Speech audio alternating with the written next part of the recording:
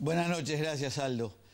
Eh, la alegría va por barrios, los encuestadores están acostumbrados a recibir palo del año 84 en adelante, eh, lo que hemos estado trabajando en esta etapa, eh, recordamos que los encuestadores siempre son blanco de críticas, de duras críticas, y según por donde va la, alegría va por barrios, decía, según al que lo favorece o el desfavorece. Siempre el que va abajo cuestiona a las, a las encuestas.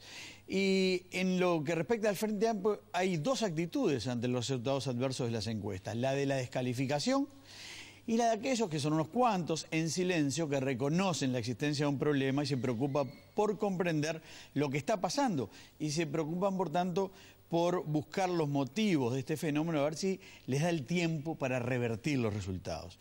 Muchas son las reflexiones que se pueden hacer. Eh, pero la descalificación de las encuestas por lo pronto está vacía de contenido y muchas de las afirmaciones que se dicen no tienen ninguna base. No es cierto, por ejemplo, como se ha dicho, que Luis Eduardo González siempre hubiera perjudicado a Mujica. Muy por el contrario, lo hemos demostrado aquí con números en alguna otra eh, columna. Las encuestas de cifra siempre mostraron al frente y a Mujica camino al triunfo cada vez que ganaron, lo que en su momento le motivaba la crítica de los otros partidos. Se ha dicho, por ejemplo, que a esta altura, hace cinco años, daba al frente perdiendo. Es falso, lo mostró el otro día en Telemundo y también en Código el propio Luis Eduardo. A esta altura, hace cinco años, el frente estaba un punto por encima del conjunto de la oposición. Hoy, sin embargo, está 11 puntos abajo.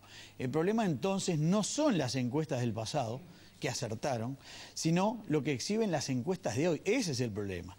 Es decir, que algo pasa en la campaña por un lado, claramente el desempeño de la calle Pou con reiterados aciertos en la campaña y que claramente con sus actitudes ha descolocado al oficialismo. Y además que el propio Frente ha ayudado a poner a la calle en el centro de la escena y de la agenda. Es decir, atacándolo, eh, cuestionándolo. Eh, la, calle siempre está en, el primer plano de la campaña electoral. Eh, el Frente, evidentemente, hay algo que está mal en su estrategia. Lo ataca, descalifica las encuestas, denuncia presiones que no existen. Sería bueno que quien tenga datos concretos sobre presiones a los medios periodistas lo diga con nombre y apellido.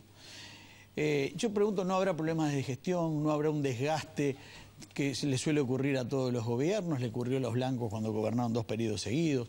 No sea el tema de la seguridad, de la educación, de ACE, los trenes que nunca llegaron, en fin, un montón de cosas que podrían sumarse y que son comunes en la política. Tampoco le parece ser favorable esa comunicación, tan cercana con el sindicalismo que hace acordar el peronismo.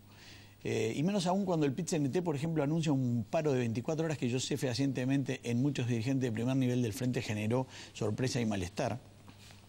O cuando los profesores hacen un paro de actividades para adherir a un pequeño núcleo de dirigentes que tiene que ir a la justicia, o cuando los maestros, en lugar de buscar otras alternativas, eh, deciden dejar a todos los niños del Uruguay sin clases porque una madre desequilibrada ataca a una maestra. Quedan dos meses para octubre, el Frente está revisando su estrategia, eh, está viendo qué hacer. Eh, los próximos días van a mostrar hacia dónde va la campaña en todos los partidos. Pero en cualquier caso, reitero, el problema no son las encuestas anteriores, el problema es lo que muestran las encuestas actuales, para el oficialismo, por supuesto. Hoy, como siempre, también tiene una visión particular de la campaña, en este caso del expresidente y candidato Tabaré Vázquez.